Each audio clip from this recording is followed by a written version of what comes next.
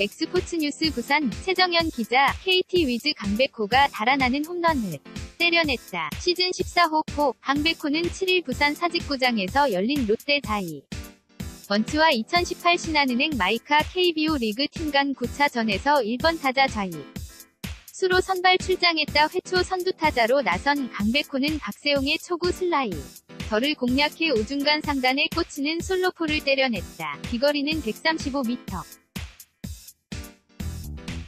KT는 강백호의 홈런으로 3회 4에서 0으로 앞서고 있다. 로브리어 12.